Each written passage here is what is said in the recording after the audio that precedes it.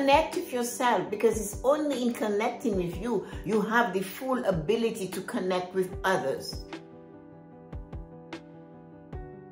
You are more than your present situation. Yes, you are.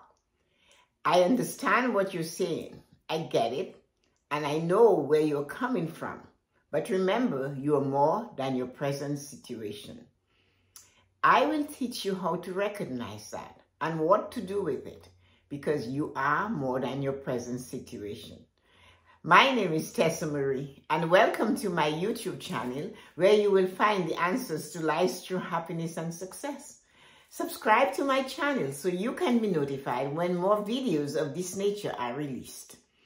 In this short video, I will give you some tips and some actions to take so that you are in the position to realize you're worthy and you're more than the situation that you're in right now. You see, number one, it doesn't matter whether you're male or female.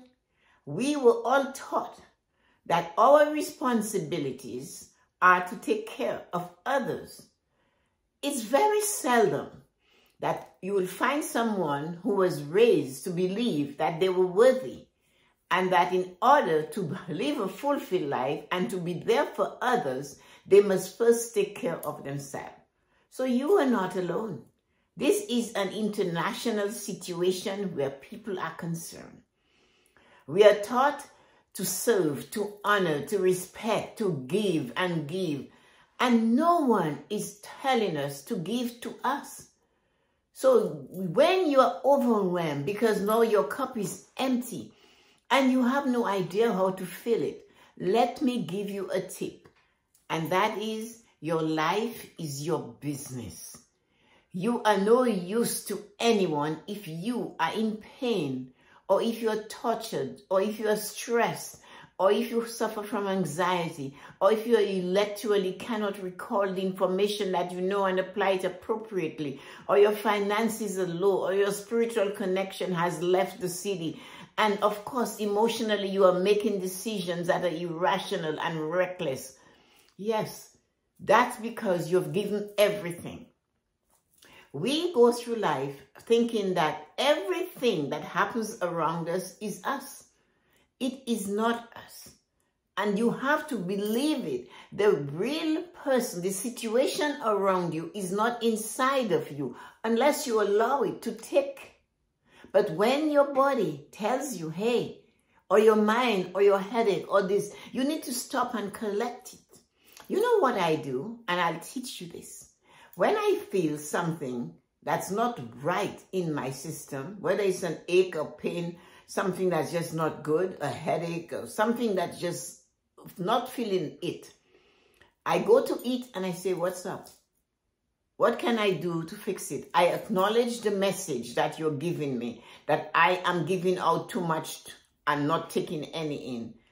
I apologize to you and let's fix this because I'm of no use to anyone if I'm no use to myself.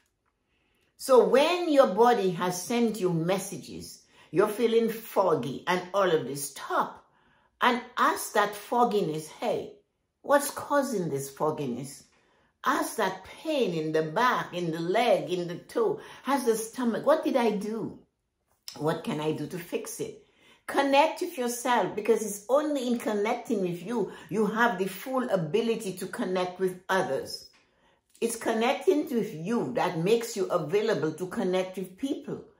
If you do not know who you are and you're not realizing that all of this is not you, you will lose you. And when you lose yourself, you cannot help anybody else to find themselves. You do not have the tools. You're not equipped. You're weak.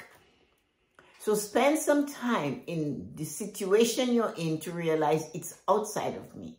Sometimes we let something that we have no control of, for example, the weather, and we go oh, and we lament about this weather. It, we are not the weather. We have no control about whether it snows, rain, or sleet, or ice, or wind, or hurricane, or tornado. We cannot affect it.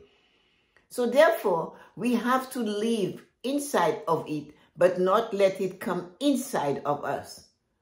When we give all our time to surviving and making sure other people are maintained and we survive and we are constantly working on improving everybody and forgetting to improve us, we have lost the key to our life. We've got only one life.